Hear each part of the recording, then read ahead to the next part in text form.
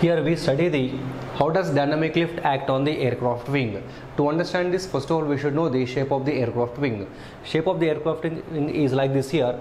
The front edge of the aircraft wing is thick. thick. As we go to the back, the thickness will be decreased. Means it is thicker in front and it is a thin. Thickness will be decreased and thin at the edge. Means the back side.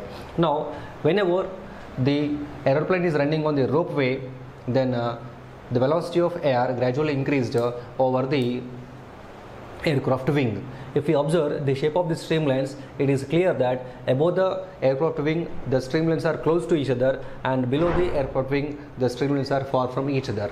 This we clears that above the aircraft wing the velocity is more below the aircraft wing the velocity is less means uh, vt is greater than vb above the top velocity is vt below the bottom velocity is vb. Now vt is greater than vb. If vt is greater than vb according to bernoulli's theorem pt less than pb.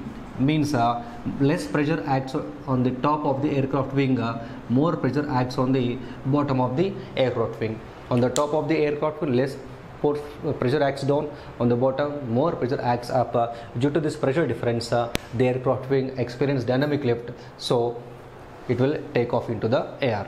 In this way the takeoff of uh, aircraft aircraft uh, aeroplane possible on the runway